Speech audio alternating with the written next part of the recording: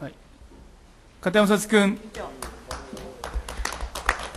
えー、新潟の中国領事館の問題なんですけれども、えー、今日はあの日中の議員会議がございまして、私、実はお手元にお配りした在名古屋及び在新潟総領事館の比較表っていうのを、えー、お示ししながら、やはり本当の友情、本当の友好っていうのは、率直に本当のことを言い合わないと。ダメなもんじゃないですかと申し上げたら、えー、全人代の方々がほとんど、まあ、この領事館土地取得問題について、日本の非常に大きな都市の、えー、市長、首長なり議員の方から、請願なりやめてくれなり、いろんなものが出てるということはご存知ありませんでした？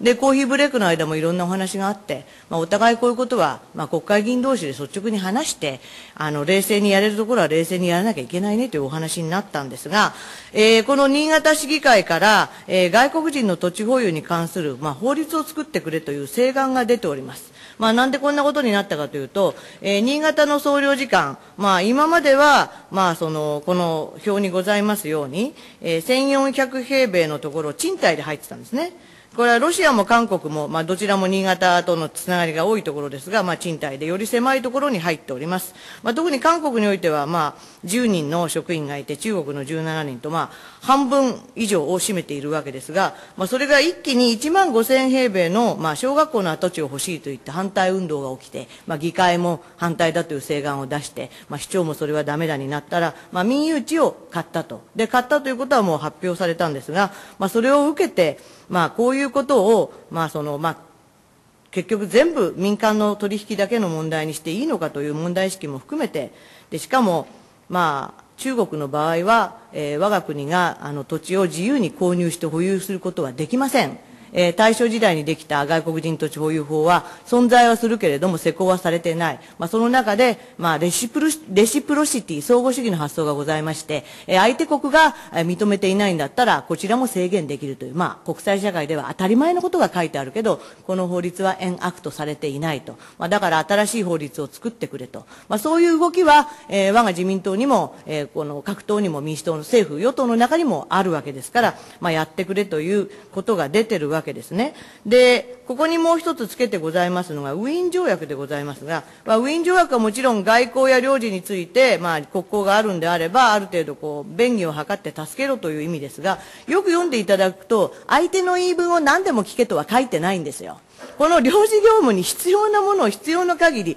他の目的に利用されないようにということが書いてあって、これは当たり前のことなんですね。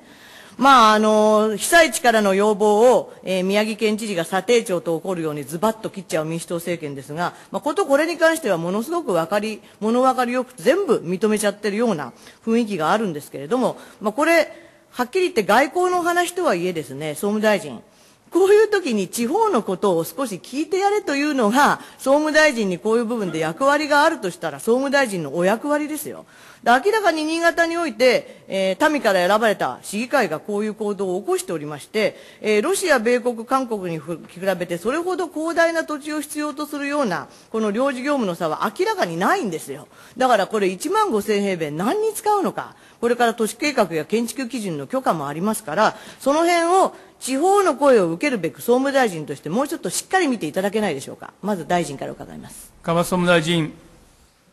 3月16日に新潟市議会から外国資本による土地買収事案に対する実効性のある法的規制の整備を趣旨とした外国人土地法に代わる新たな法整備を求める意見書が内閣総理大臣、法務大臣及び外務大臣宛てに提出されたと承知をしております。まあ、総務省としてはこのこの直接この本件に関する制度を所管しているものではございませんが、まあ、今ご紹介のウィーン条約の趣旨を踏まえつつ、総合的に検討すべき課題と外務大臣が予算委員会でも答弁しております。関係省庁で適切に検討されていくものと認識をしております。まあ、あの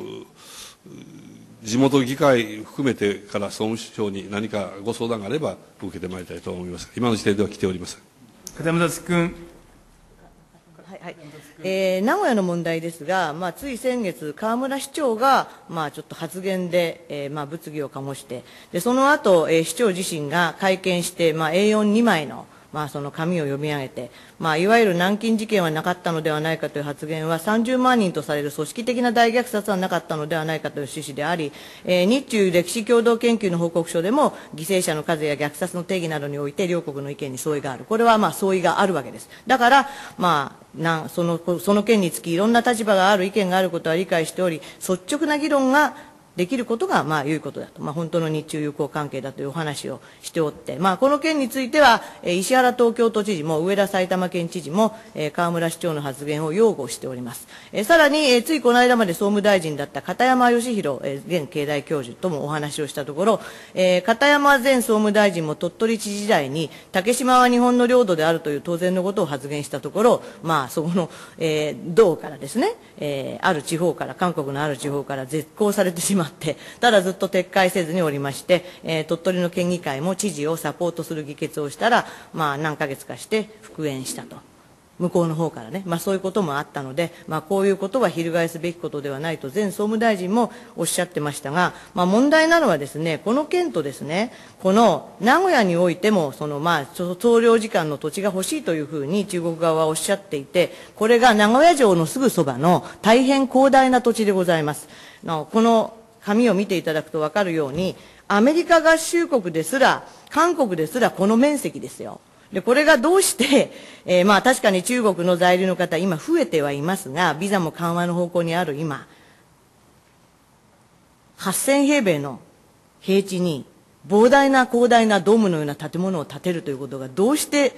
必然性があるのか全く理解ができないわけで、まあ今は一棟借り、5階建てのビルを一棟借りしていて、えー、敷地440平米のところ、1452平米使っていると。まあ、これが若干増えるぐらいのところを紹介するとか、そういうことはできないんですかね。もう少しその辺も含めて、この南京と名古屋が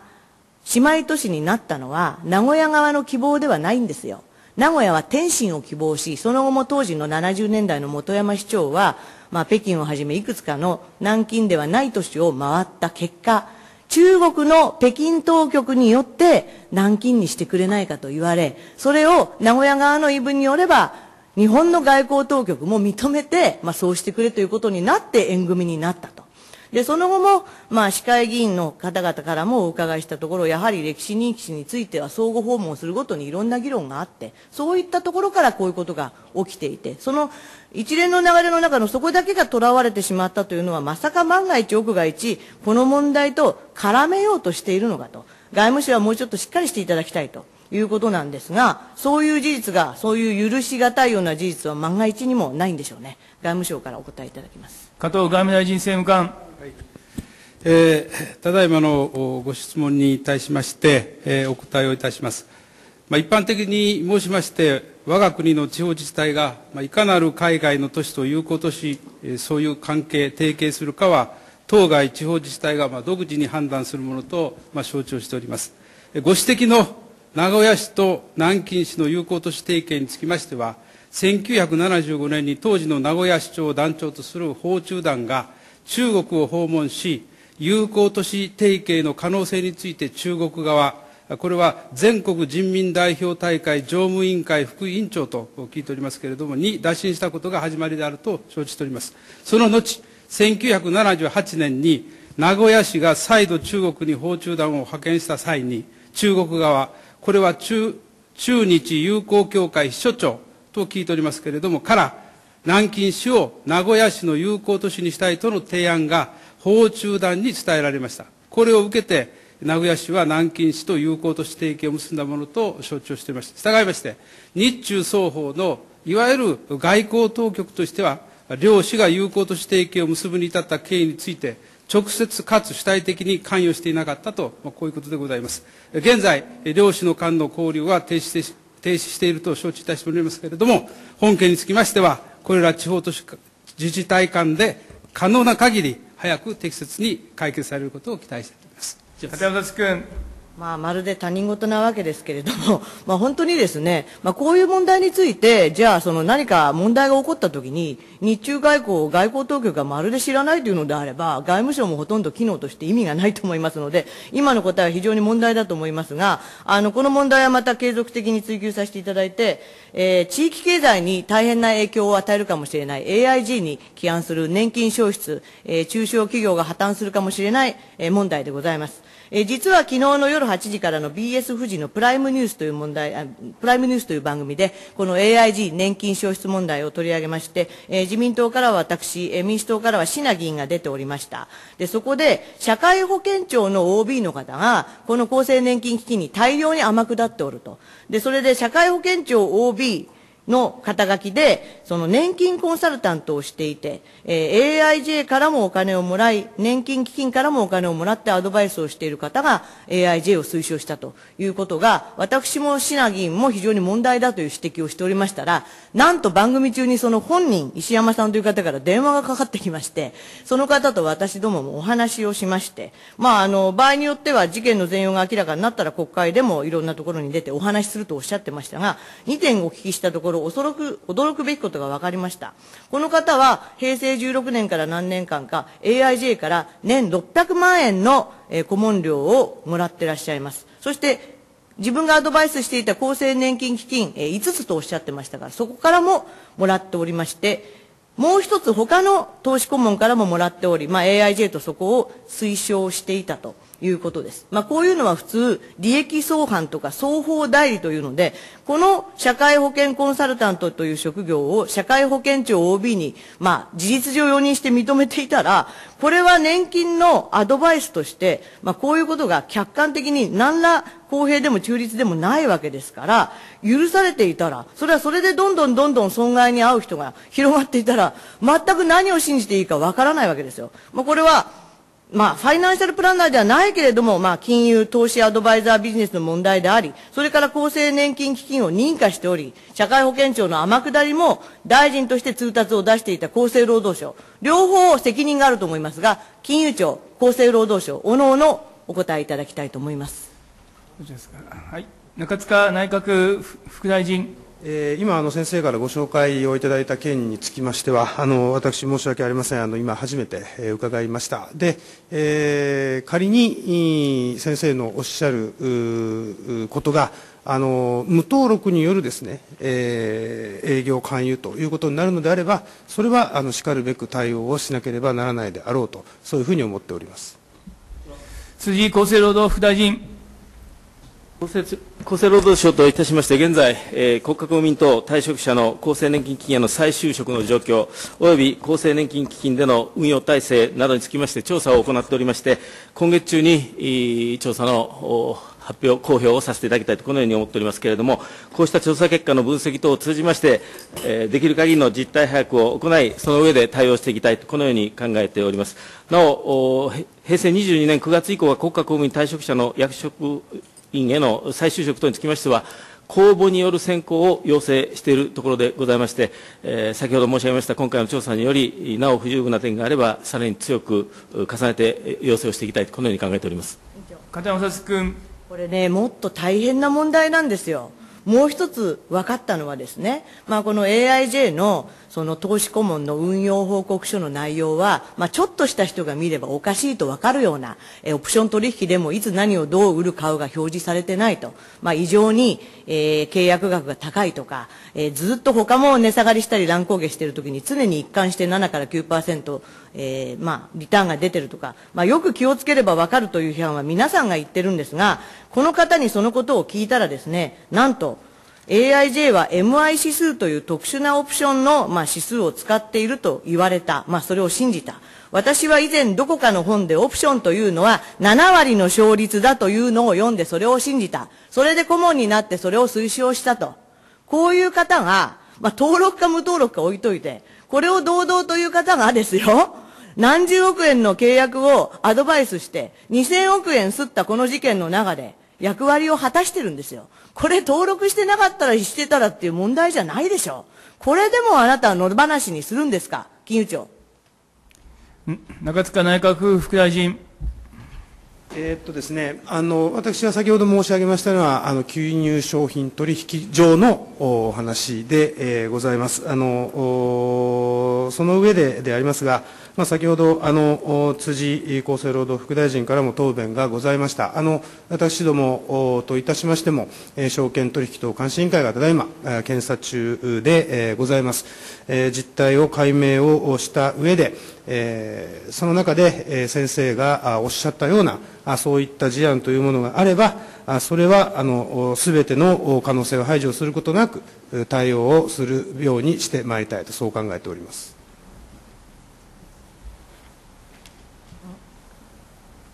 片山君。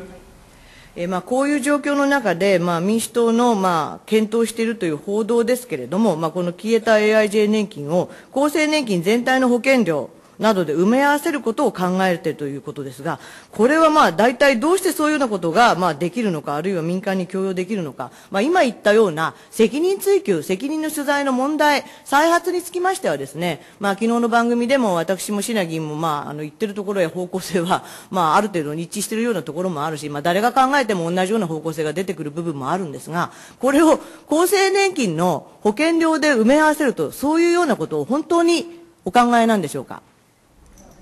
辻厚生労働副大臣。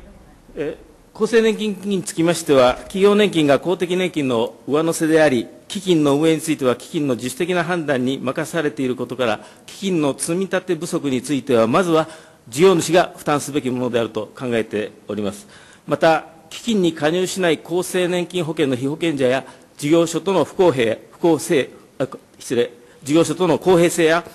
厚生年金保険の報酬比例部分には国費が投入されていないことなどから、積み立て不足を保険料や国費で穴埋めすることは不適切であると、このように考えております。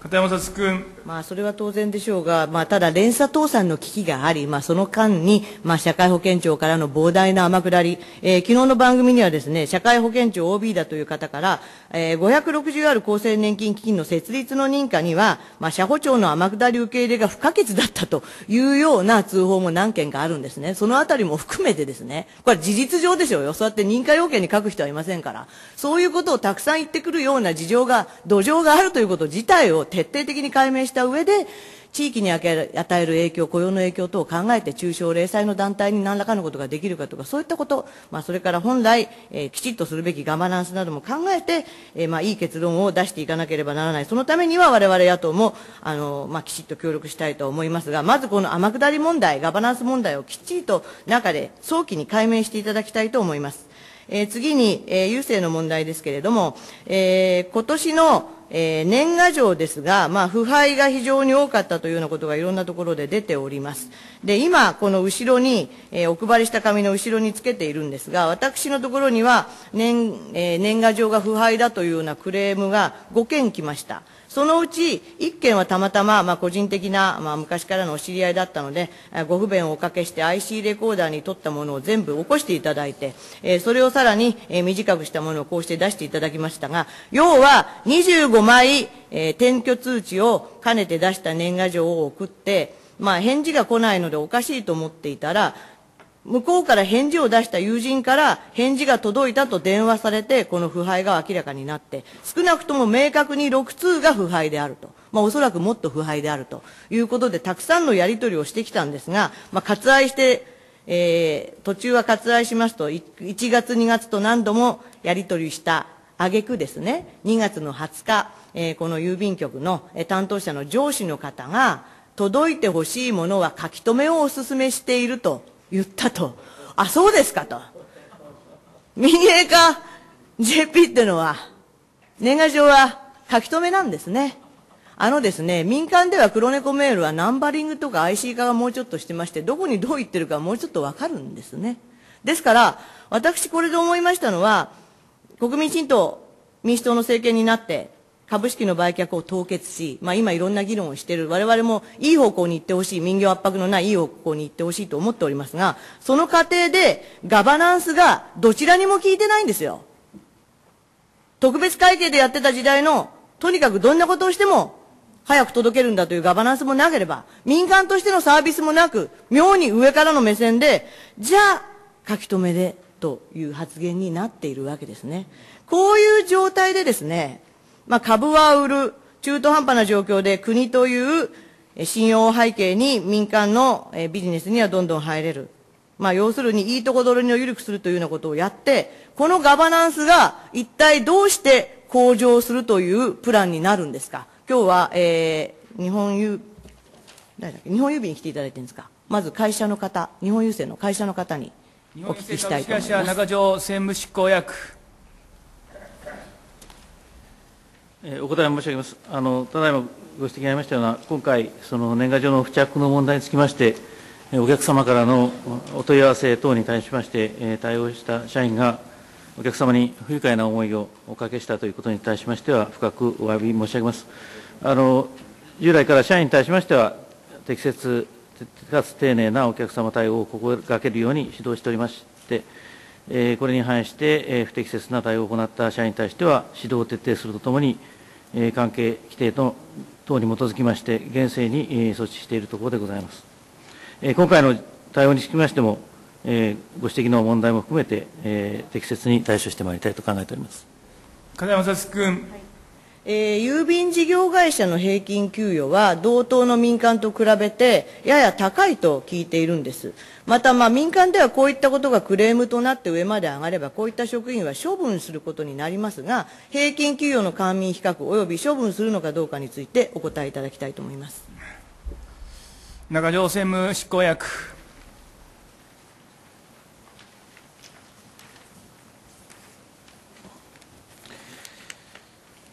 えー、お答え申し上げます。えー、郵便事業株式会社の正規社員の平均給与につきましては、平成22年度において、えー、約638万円というふうに、えー、理解しております。えー、それから、えー、処分に関しましては、先ほど申し上げましたように、えー不適切な対応を行った社員に対しては、えー、関係規定に基づいたで、えー、厳正に対し措置しているところでございまして、えー、今回の指摘の問題につきましても、その事実関係を確認して、えー、適切に対処していきたいというふうに考えております片山君。あの記録が全部公開できるのはこれなんですけど、これだけではないです。それは多分、えー、参考人もよくご存知なはずです。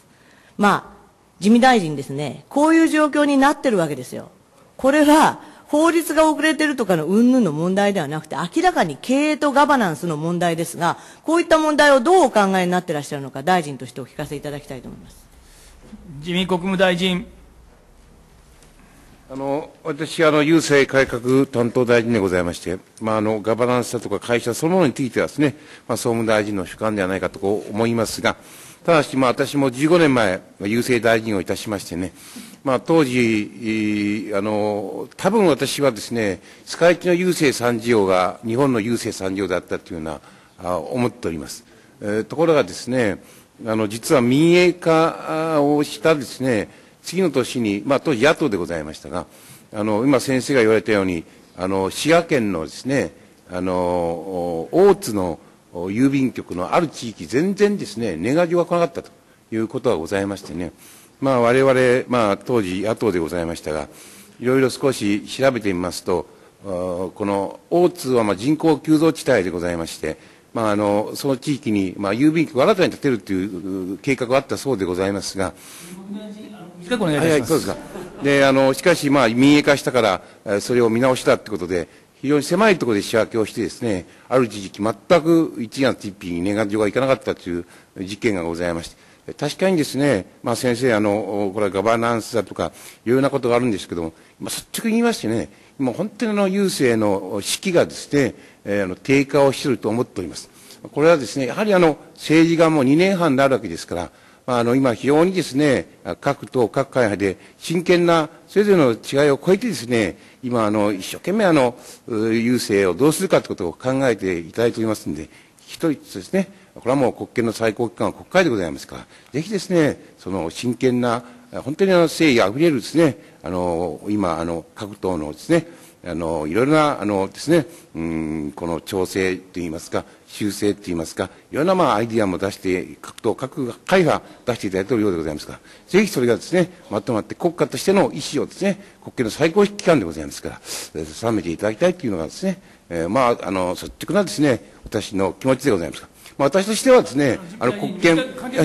国権、あの、最高のですね、最善のものを出したと思っておりますけれども、最後にお決められるのはですね、やはり政党でございますから、ぜひそのことをですね、強くお願いする次第でございます。片山さ君。あの、それでは生活保護の問題ですが、先般テレビ入れの予算委員会で、えーこの部分がなんとその後20万回ぐらい再生されてくるぐらい皆さんからの反応が大きかったのは、まあ外国人の方への生活保護費が非常に増えていると。で、最新のデータをいただきましたら、なんと7万3493人まで増えてるんですね。えー先週の国会ではあの6万人台と申し上げたんですが、えー母体となる、えー日本に滞在して資格のある外国人が137万人ですから、えー割り算しますと、日本人における生活保護の率が1.6%に対して、外国人は5.5%というふうになっております。さらに、窓口に来た方が、えー申請を認められる割合なんですが、これは日本人の方も外国人の方も含めて、えー自民党時代には40%台半ばだったのが、民主党政権以降どんどん増えておりまして、今52%までなっております。これは東京のある区からいただいた、この1年間だけで、生活保護だけで送られてきた厚生労働省からの通達ですよ。これだけ。もうこれに忙殺されましてですね、もうほとんど、まあ、断る雰囲気にはないというような実態でございますが、まずその外国人の方で窓口で跳ねられてる率はどのぐらいあるんでしょうか。それを教えていただきたいと思います。厚生労働省山崎社会援護局長。えお答え申し上げます。あのご指摘のとおり、あの確かに申請、相談件数に対する、まあ、申請の割合でございますが、全体の状況はあの先ほどございました48.2%という数字でございますが、特にこの中で外国人についていくらという数字はあの取ってございません。これは自治体の方でもそういう形では整理していないと、こういう状況でございます。片山君。あの外国人の方に生活保護を出すこと自体は他の先進国もやっておりますし、まあ、これは憲法上そうであるということではなくて、まあ、人道上の見地から予算措置としてやっているわけですが、それが日本人に比べて甘いとか審査としておかしいということになっているのであれば、少なくとも保護率は3倍以上なんですから、それは今この、え社会保障と税の一体改革、え社会保障経費の効率化という意味から、えー我々としては感化するわけにはいきませんので、えぜひその数字を出していただくことをお願いして、え私の質問を終わります。